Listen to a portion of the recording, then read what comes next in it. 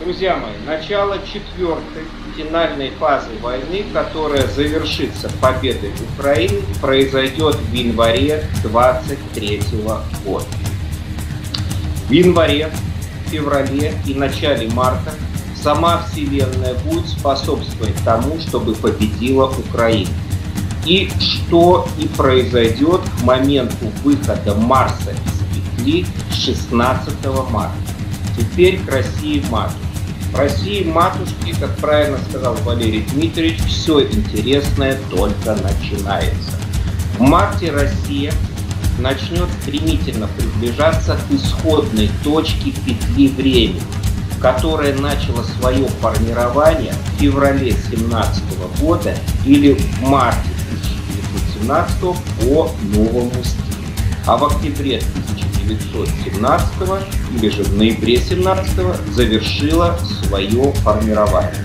Соответственно, то, что будет происходить в России, будет иметь очень много схожих черт с событиями столетней давности. Итак, смотрите, март 23 года. Война для России завершилась поражением. Российский суверен поставил на карту все и, как говорится, проиграл для окружения близкого и дальнего окружения. Он неудачник, он аутсайдер. Он прежде всего потерял тот источник силы и сакральности. Принцип антиудачи действия. Это та самая антиудача, о которой я вам рассказывал. Обряд был проведен в декабре 2021 года. 23 марта начинается первая ингрессия Плутона Водолей, которая даст старт фундаментальной трансформации всей мировой системы, начнет формирование новой модели нового мирового порядка. Безусловно, в первую очередь эти изменения затронут все архаичные системы. И Россию, конечно, в первую очередь. Но в отличие от цивилизованных систем, где эти изменения, как правило, происходят эволюционным путем, у нас все будет происходить по самому наихудшему сценарию. Ибо русского человека, как мы знаем, история никогда и ничему не учила. Итак, в марте в России начнет разыгрываться сцена под названием «Половецкие танцы с хором». Госсовет к этому времени полностью будет состоять из представителей силового блока – и будет контролировать все процессы, происходящие в стране. Роль российского суверена будет сведена к минимуму. К этому времени, к марту в России будет уже новый премьер-министр, на которого прежде всего поставят, естественно, представители силового крыла, которые с ним связывают надежду на то, что произойдет относительно спокойный процесс перехода власти от одного человека к другому. И в этом силовой блок опирается на статью 92 Конституции Российской Федерации, которая гласит, когда президент Российской Федерации не в состоянии выполнять свои обязанности, их временно исполняет председатель правительства. Итак, кто же будет этим председателем правительства? Естественно, точки зрения рационального только тот человек, за которым стоит силовой блок. Потому что все остальные российские мини-системы построены по принципу бизнес-модели. И особой роли никогда на те процессы, которые происходили в России, не играли. А теперь мое субъективное мнение, что этим человеком будет Патрушев Плач. Почему? Дело в том, что э, в российском политике единственный человек, у которого гороскоп феноменально резонирует с гороскопом Путина, это Патрушев-младший. Также сегодня американская газета Washington Post опубликовала статью, что в России все сделали ставку на партию. Далее, безусловно, пророчески написал Владимир Сорокин в своей антиутопии «День опричника». Отцом государя был Николай Платонович. Я могу предположить, друзья мои, что у всех у вас возникло чувство неприятного смятения. И что? События только... Младший Басманов, он, кстати, плохо понял. Да, события, друзья мои, только начинают разворачиваться. И вот мы подходим к тому периоду времени, о котором Марк Захарович обычно говорит тепленькая башня. И вот мы подходим к роковому для российского суверена периоду времени. Весенний коридор затмений 23 года. 20 апреля у нас произойдет гибридное солнечное затмение 129-го Сароса, а 5 мая э, произойдет полутеневое лунное. Этот период времени означает завершение жизненного цикла российского суверена.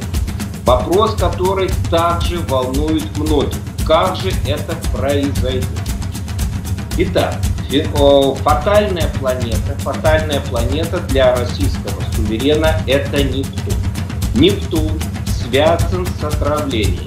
Это яд. Ну, естественно, человек все проиграл. И все это прекрасно понимает его близкое и дальнее окружение. Естественно, от него нужно как-то будет избавиться. И вот приходит на помощь старый испробованный способ яд. Конечно, таким ядом станет не банальная цикута и не картарелла и не вода госпожи Тафан. Безусловно, нет.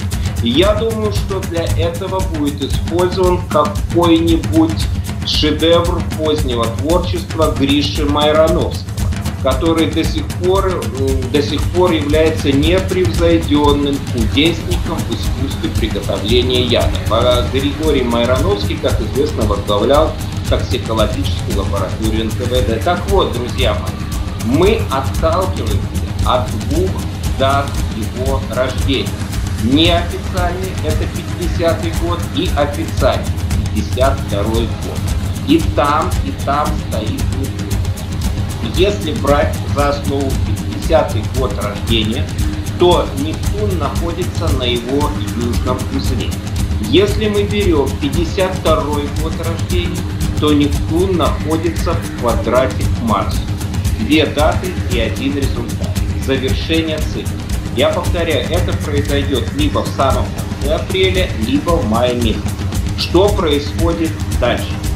В стране, естественно, объявляются досрочные президентские выборы, которые, согласно мунданной астрологии, должны будут обязательно состояться осенью 23 года. Естественно, страной руководит исполняющий обязанности президент. И, естественно, куда же без этого Госсовет. И вот теперь мы смотрим середину лета 23 года. В середине лета происходит знаковое событие лунные узлы переходят на новую ось. Сейчас они находятся на оси Телец и Скорпион, и они переходят на новую ось Овен Весы. При этом Плутон возвращается из э, Водолея в Козерог. Плутон находится в ретро-движении. И при этом Плутон образует э, квадрат по отношению к узлам. Это крайне напряженный период времени. А, вполне больш, очень большая вероятность, что в России летом 23 года произойдет какая-то техногенная катастрофа, связанная с ядером. Ну, например, это атомная электростанция. Самый важный период времени – это середина лета. Середина лета Украина э, возвратит Крым себе. С середины лета 23 года, июля-август, Крым станет Украиной. И теперь смотрите, друзья мои, последняя скрепа рук. Сакральность Крыма больше не существует. Крым вернулся в родную гавань. Крым стал Украиной. Что же происходит дальше в России? Выборы, президентские выборы осенью. Дальше автоматически, сразу, параллельно с этим, происходит революция. Затем начинается распад страны, хаос и гражданская война. И такой период времени продлится как минимум полтора года. История повторяется.